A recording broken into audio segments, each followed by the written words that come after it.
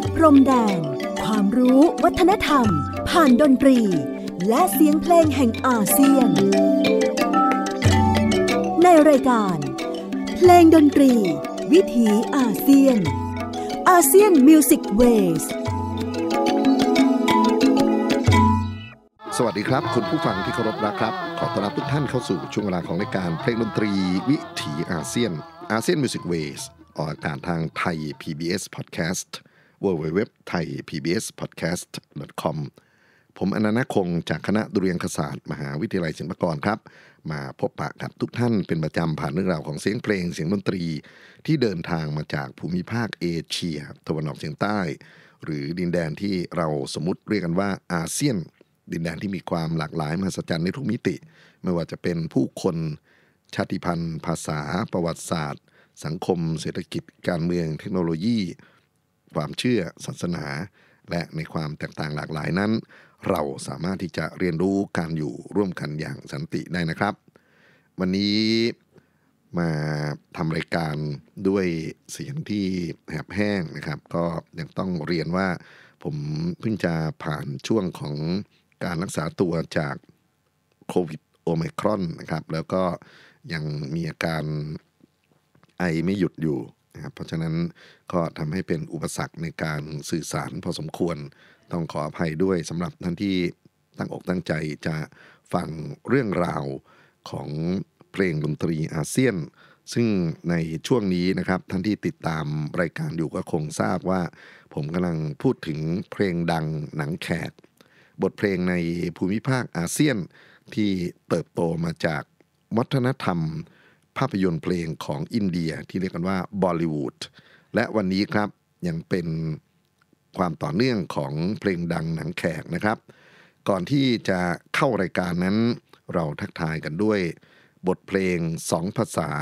เริ่มต้นจากบทเพลงชื่อซันซาคีฮาชัยคาไม่แน่ใจว่าออกเสียงถูกหรือเปล่า แต่ว่าเป็นผลงานที่มาจากภาพยนตร์ดังมาก ๆ เรื่องดุน เมื่อปี 1973 เสียงขับร้องของมเหินทรากาปูหนึ่งในนักร้องที่สร้างตำนานในภาพยนตร์บอลิวูดนะครับ และต่อเนื่องด้วยบทเพลงชื่อว่านี่กรรม คราวนี้เป็นเสียงขับร้องภาษาไทยที่เข้าใจง่ายและเป็นเนื้อร้องที่เกี่ยวข้องกันกับเรื่องคติความเชื่อในพุทธศาสนาครับ นักร้องที่ขับร้องในภาคภาษาไทยบทเพลงนี่กรรมนั้น คือคุณสุมิตร สัจเทพ และคุณยุพินแพรทอง ที่จริงผมผมควรจะใช้คำว่าแม่ชียุพินแพรทองนะครับ เพราะว่าเธอได้ตัดสินใจใช้ชีวิตอยู่ในร่มเงาของพุทธศาสนา แล้วก็ถือว่าเป็นแม่ชีที่มีวัตรปฏิบัติที่งดงามน่าเลื่อมใสศรัทธาท่านหนึ่ง คุณสุมิตรและแม่ชียุพินแพรทองครับ จะเป็นหัวข้อหลักของการพูดคุยกันใน EP นี้ว่าด้วยเรื่องของเพลงดังหนังแขกที่กลายมาเป็นเพลงลูกทุ่งภารตะในสังคมไทย ไม่น่าเชื่อนะ ว่าบ้านเราเนี่ยเคยมีช่วงสมัยหนึ่งที่มีการผลิตเพลงที่มีสำเนียงของ ภาพยนตร์บอลิวูดนะครับ แล้วก็ยิ่งไปกว่านั้นก็คือมีจังหวะทำนองที่สามารถเต้นรำแล้วให้ความรู้สึกเหมือนกับว่าอยู่ในมิติของหนังแขกกันได้นะครับ แล้วก็คุณสุมิตรสัจเทพนอกจากที่จะสามารถมาขับร้องเพลง แล้วก็มีความเป็นแขกอย่างเต็มที่ เพราะว่าโดยทั้ง กำเนิดของท่านนะครับ แล้วก็สิ่งแวดล้อมที่ท่านเติบโตมานั้น ก็อยู่ในวัฒนธรรมแขกซิกส์นะครับเป็นแขกกลุ่มหนึ่งที่เดินทางมาจากอินเดีย แล้วก็มีศาสนาเป็นหลักของเขาเนี่ยเขาสามารถที่จะใช้ภาษาอินเดียครับ ในการสอดแทรกบทขับร้องได้อย่างน่าสนใจ ก็ทำให้บุคลิกภาพของ ลูกทุ่งพรตะนะครับ โดยเฉพาะบทเพลงมากมายที่มาจากเสียงขับร้องของคุณสุมิตรสัจเทพนั้น เป็นบทเพลงที่น่าศึกษา น่าติดตาม บทเพลงนิกรรมที่เราฟังนี้นะครับ ก็เป็นผลงานการประพันธ์ของนักแต่งเพลงมหัศจรรย์จากอุบลราชธานี ครูสุรินทร์ภาคสิริครับ คนเดียวกันกับที่ประพันธ์เพลงวอนลมฝากรัก ซึ่งเราเคยฟังผ่านไปในอีพีต้นๆนะครับ แล้วก็เพลงสาวนาคอยคู่ สาวนาคอยคู่ ผมเปิดทั้งเสียงของคุณบุภาสายชนนะครับ แล้วก็ท่านอื่นๆให้รับฟังกันไปด้วย นั่นก็เป็นเพลงที่แทรกอยู่ในภาพยนตร์มนรักลูกทุ่ง ชื่อเสียงของครูสุรินทร์ภาคสิริ กับการประพันธ์เพลงนานาชาติ ฝรั่งแขกจีน อินเดีย เป็นเรื่องที่น่าติดตามอีกไม่ใช่น้อยนะครับ แต่ว่าวันนี้เราใช้ผลงานของครูมาเปิดตัวนักร้องที่เป็นลูกทุ่งพรตะนะครับ ที่เข้ามาเป็นลูกศิษย์คนหนึ่งของครูสุรินทร์ภาคสิริ แล้วก็บทเพลงประกอบภาพยนตร์อินเดีย ซึ่งใช้ชื่อภาษาไทยว่านี่กรรม ก็กลายเป็นเพลงที่ได้รับความนิยมอย่างยิ่ง จนกระทั่งเคยได้รับรางวัลกึ่งศตวรรษเพลงลูกทุ่งสืบสารคุณค่า วัฒนธรรมไทยเมื่อพุทธศักราช2537 และมีการ cover โดยนักร้องลูกทุ่งชายหญิง เป็นจำนวนนับครั้งไม่ถ้วนเลยครับ รวมไปถึงการบรรเลงการแสดงสดกันด้วยนะครับ คุณสุมิตรสัจเทพ ซึ่งถือว่าเป็นนักร้องคนสำคัญนั้นเคย ได้มาปรากฏตัวอยู่ในรายการสารพันลั่นทุ่งของทางไทย PBS นะครับ ถ้าสนใจอาจจะลองไปค้นใน YouTube นะในช่วงที่ผ่านมาหรือใน Facebook ของช่องไทย PBS ก็คงจะได้เห็นหน้าค่าตาแล้วก็ได้รับฟังเสียงขับร้อง ซึ่งก็ยังเพราะอยู่เลยนะครับ อายุ 60 กว่าแล้วนะครับ เกือบ 70 แต่ว่ายังแข็งแรงยังรูปร่างเอ่อน่าดูแล้วก็เสียงเพลงที่เขาขับร้องนะครับ ก็ยังคงมีพลังมีความรู้สึกของนักร้องที่เป็นชั้นนำได้ วันนี้ครับเราอยากจะนำเสียงบางส่วนของสุมิตรสัจเทพนะครับ มาเปิดให้ ท่านได้รับฟังกัน แล้วก็เดี๋ยวคงจะต่อด้วยคุณยุพินแพทอง เหตุที่เรียกสุมิตรสัจเทพก่อนนั้นนะครับ เพราะว่านี่คือคนที่สามารถตอกหมุดกับคำว่าลูกทุ่งพระตะได้อย่างสง่างามที่สุดนะครับ ทั้งความเป็นชาติกำเนิดของเขานะครับแล้วก็ความเชื่อของเขาที่นับถือศาสนาซิกส์นะครับซึ่งซิกส์ก็จะมี ทั้งวิธีการแต่งตัวโดยเฉพาะการโพกหัวอย่างที่เรารู้จักกันนะครับ แล้วก็จะมีการนับถืออท่านคุรุเนี่ยที่เขาเรียกกันว่าเป็นศาสดาของเขา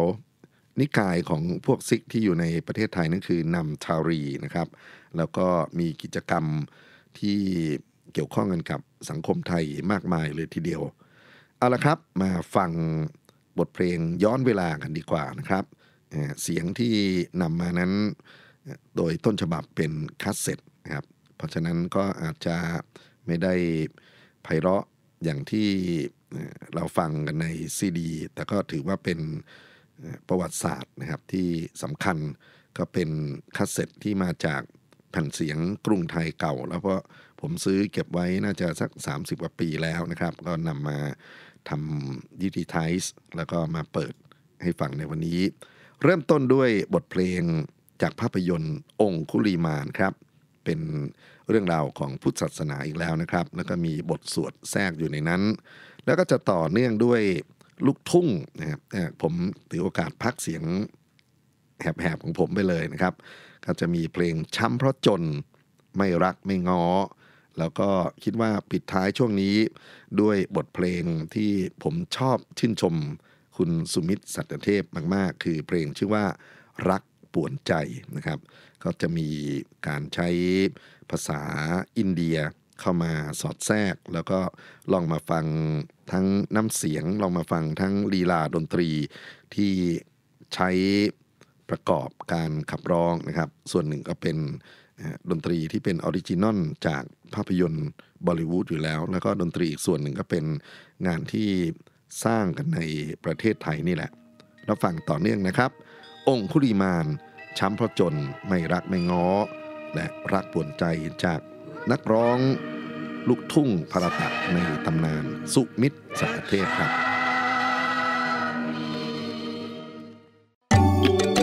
เพลงดนตรี วิถีอ เซียน อาเซียนมิวสิกเวสฟังกันอิ่มหูนะครับ เสียงขับร้องของคุณสุมิตรสัจเทพ นักร้องลูกทุ่งพรตะในตำนาน ซึ่งผมเริ่มต้นช่วงที่ผ่านมานะครับ ด้วยองคุลิมานก่อนนะครับ แล้วก็ต่อด้วยช้ำเพราะจน ต่อด้วยเพลงไม่รักไม่ง้อ เริ่มมีภาษาอินเดีย มาให้ชื่นใจแล้วก็ที่เพิ่งจบไปนี่ก็คือรักป่วนใจนะครับ มีภาษาอินเดียแทรกอย่างสง่ามากๆ คุณสุมิตรสัจเทพนั้นก็ถือว่าเป็นสัญลักษณ์หนึ่งเลยล่ะ ของลูกทุ่งพรตะนะครับ ก็เรียกได้ว่าเป็นราชาลูกทุ่งพรตะ คนเดียวของเมืองไทยเขาว่าได้